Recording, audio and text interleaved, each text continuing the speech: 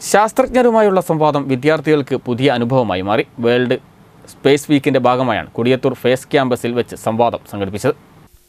October നാല് മുതൽ നടന്നുവരുന്ന വേൾഡ് സ്പേസ് വീക്കിന്റെ ഭാഗമായാണ് വിദ്യാർത്ഥികൾ ഐ എസ് ആർ ഒയിലെ മുതിർന്ന ശാസ്ത്രജ്ഞരുമായി സംവദിച്ചത്. കൊടിയത്തൂർ ഫേസ് ക്യാമ്പസാണ് ഇതിനായി അവസരമൊരുക്കിയത്. പരിപാടിയിൽ മുൻ I S R director doctor E K Kutty I S R ഒയിലെ ശാസ്ത്രജ്ഞൻ John Vivian Prashanth Bombay I I T വിദ്യാർത്ഥി ഭരത് ശ്രീജിത്ത് എന്നിവർ കുട്ടികളുമായി സംവദിച്ചു. ജില്ലയിലെ വിവിധ സ്കൂളുകളിൽ നിന്ന് തിരഞ്ഞെടുത്ത വിദ്യാർത്ഥികൾക്കാണ് സംവദിക്കാൻ അവസരമൊരുക്കിയത്. മൂന്ന് വ്യത്യസ്ത ഘട്ടങ്ങളിലായി ക്വിസ് മത്സരവും പ്രോഗ്രാമിന്റെ ഭാഗമായി നടന്നു. ഫേസ് ക്യാമ്പസിൽ നിന്നുള്ള Muhammad Yaseen K P K Muhammad Sinan എന്നിവർ ഒന്നും രണ്ടും സ്ഥാനങ്ങൾ കരസ്ഥമാക്കി. Kodiyathur P T M higher secondary സ്കൂളിലെ എ നിരഞ്ജനാണ് മൂന്നാം സ്ഥാനം. മുൻ കേരള ചീഫ് ഇലക്ഷൻ കമ്മീഷണറും ഫേസ് ക്യാമ്പസ് പ്രിൻസിപ്പലുമായ പി കമാൽക്കുട്ടി അധ്യക്ഷനായി.